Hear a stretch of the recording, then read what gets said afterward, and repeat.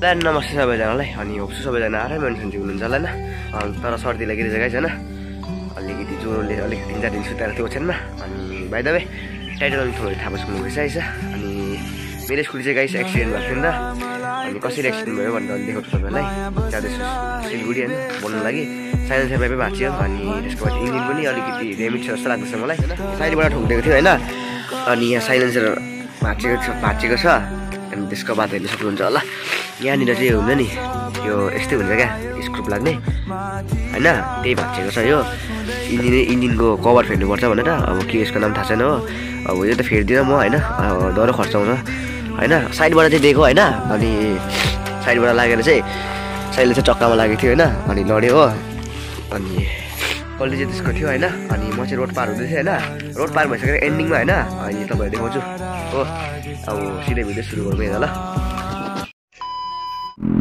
So guys होइन अनि हामी चाहिँ अहिले यहाँनिर छु तपाईँको बक्सको मोडमा छु होइन अनि हामी जाँदैछु गेरी जाँदैछु गाइस सिउदाको होइन अनि एडजस्ट चाहिँ चेन्ज गर्दिनँ म होइन अब यही एडजस्टलाई नै अब ग्यास होल्डिङ गर्नुपर्छ गाइस होइन साउन्ड सुन्नु हुँदै होला साउन्ड सुन्नुहोस् गाइस होइन अनि गएर गाइस बनाइहाल्नुपर्छ हो साउन्डै इरिटेट खालको छ प्याटेटेटेर अब यसले गर्दाखेरि इन्जिन इन्जिन पनि ड्यामेज हुन्छ होला अब इन्जिन ड्यामेज भन्दा पनि तपाईँको मोबिलहरू बेसी खान्छ तेल बेसी खान्छ होइन अनि त्यही हो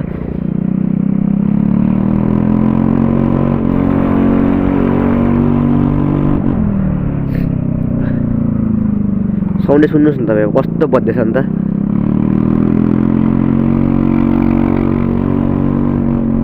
यति लाउड त एडजस्ट हाल्दा पनि थिएन नि त यस्तो साउन्ड आउँदैछ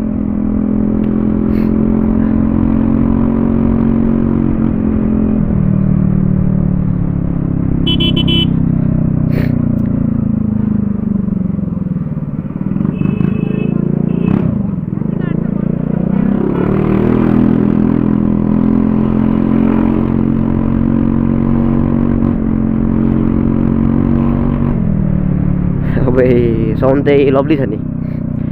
यो यतिकै गर्दाखेरि चाहिँ क्या पिकअप बढ्दैछ गाडीको बुझ्नुभयो? इग्निसियल पिकअप चाहिँ अलिकति बेसी हुँदो रहेछ हौ। झन् विली त नभन्नु जुरुक जुरुक उठ्छ विली त। यसको इन्जिन पनि त क्र्याक भएको छ हो।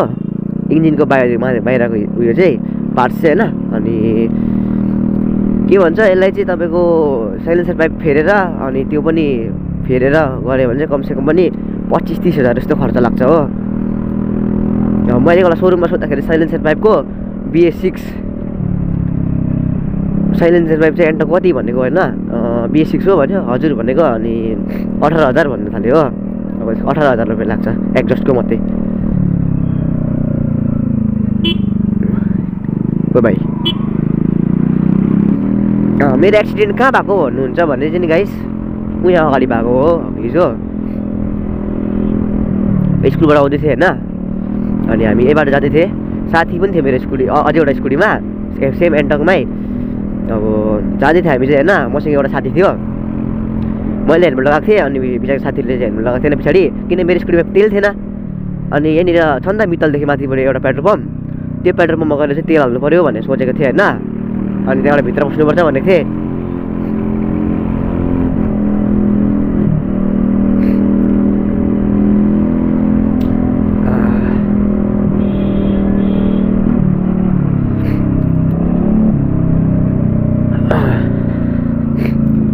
यहाँ अगाडि एक्सिडेन्ट भएको क्या गाइस छ नि यस्तै पाराले एउटा कार आउँदै थियो हो। अनि यो कारको पछाडि चाहिँ म त्यहाँनिर रोकिरहेको थिएँ। उताबाट आउने स्कुटीले चाहिँ अँ यहीँनिर। उताबाट आउने स्कुटीले चाहिँ होइन? कारको पछाडिबाट ओभरटेक गरौँ भनेको थिएँ। एउटा कार चाहिँ यहाँबाट जाँदै थियो। अनि म यता क्रस भएको होइन? यस्तो क्रस लाइनमा बस्दाखेरि चाहिँ रोकिरहेको थिएँ स्कुटी। अनि कार पार भएर पार गर्छु भनेको थिएँ होइन? त्यो यता यताबाट आउने स्कुटीले चाहिँ पछाडिबाट ओभरटेक गर्नु भएर मलाई दियो होइन? अनि भागिदियो गाइस। कता गयो गयो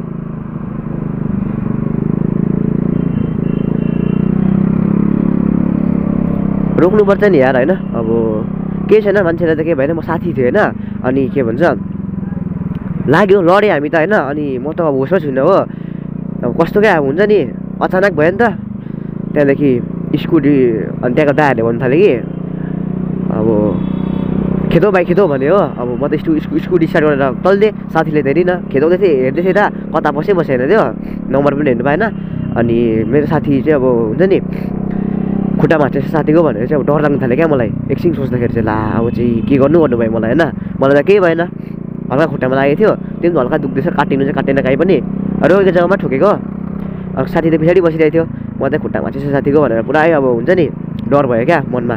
भरे गएको केही भएन कसलाई पनि। ठिकै छ स्कुटी त बनिहाल्छ होइन? मान्छे चाहिँ केही नहोस् भन्छु म चाहिँ।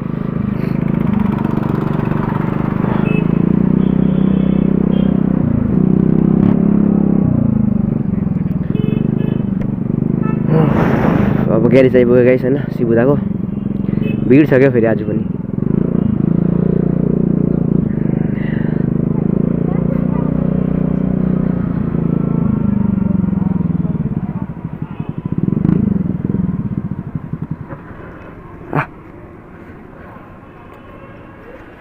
ग्यास एकछिनमा भेटौँ ल।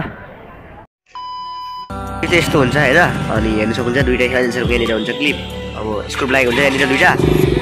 दुइटा स्क्रुप लागेको हुन्छ यहाँनिर होइन? यो चाहिँ भाँचेको छ गाइस होइन? अब यो वेल्डिङको लागि चाहिँ तपाईँको ग्यास वेल्डिङ हुन्छ। के को हुन्छ? एलुमिनियमकै स्टिल कि पित्तलको हुन्छ हो? डल्लै इन्जिन खोलेर गर्नुपर्छ हो? अरे हो अरे?